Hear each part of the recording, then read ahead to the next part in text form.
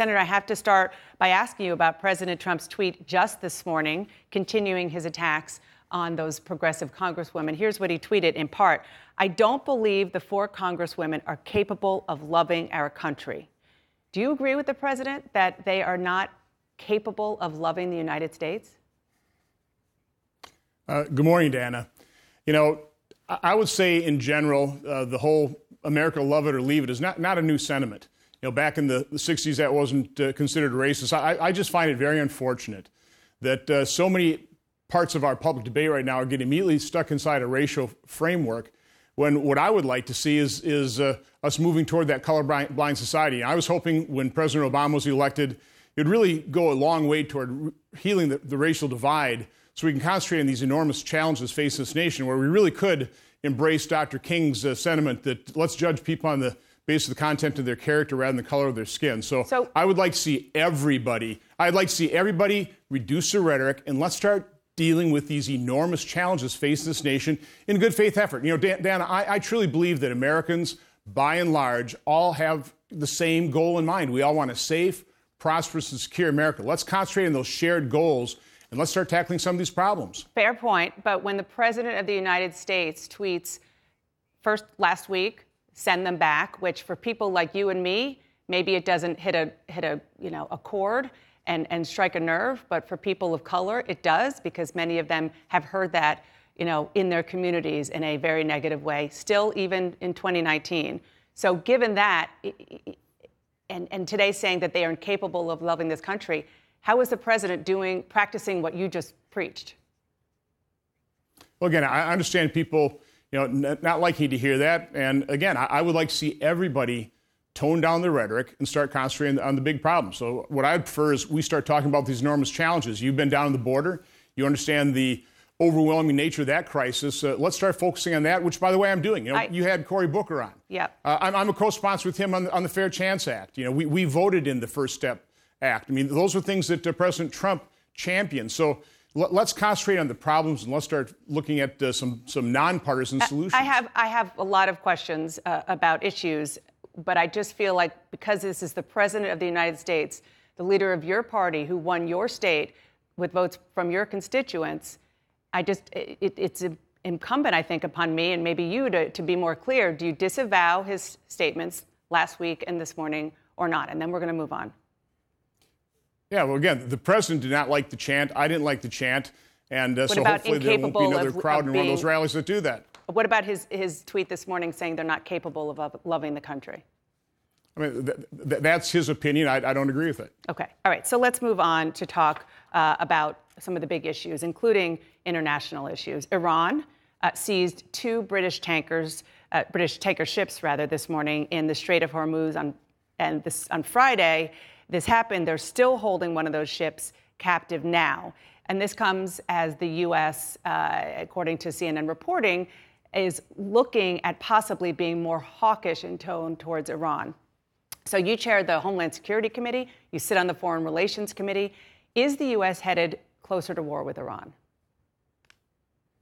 Uh, I hope not, but let's face it, uh, Iran has been a malign influence, the, the, largest state sponsor of terror since its founding uh, back in, in the late 70s. Uh, you, you, go down the, the, list of the Beirut bombing or the IEDs they supplied in the Iraq War, their involvement in Syria, in Yemen. Uh, that is why we were so opposed to the Iranian agreement, because it, it pushed, it, it, it, allowed hundreds of, uh, more than $100 billion of, of money to flow into the economy and the military of the largest state sponsor of terror.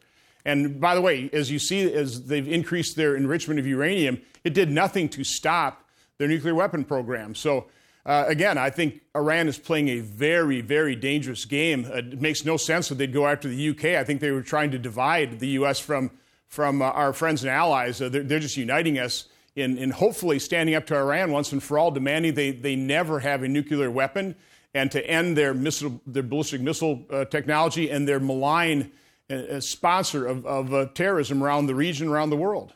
Let's talk about the border. You, as Homeland Security Chair, I know you have been working very hard to come up with a bipartisan solution to the crisis there, the humanitarian crisis, uh, and, and the whole crisis overall currently. Are you any closer to that as you're talking to your Democratic colleagues behind the scenes? Well, I think we took a good step, uh, but it's just a, a baby step in signing a letter of support for Operation Safe Return, where we rapidly and more accurately determine those families that clearly don't have even a credible fear claim and safely, and I underline safely, return those individuals back to the safe zones of Central America.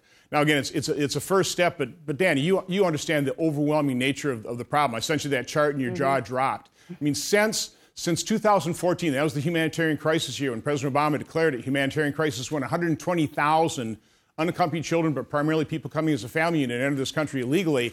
Uh, we've had 1,148,000 unaccompanied children and family members enter this country illegally, been apprehended, and they've been dispersed all over America. Mm-hmm. It's overwhelmed our, our, adjudication system. We've only removed about 12,000 of that, of about the 820,000 family members. That's about 1.5%. So it, that creates a huge incentive for more people. There's a survey done in Guatemala. A third of Guatemalans intend to migrate to the United States. That's about 5.8 million people.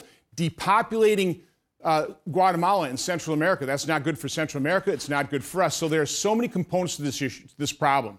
The, the destroyed public institutions because of the drug cartels because of our insatiable demand for drugs.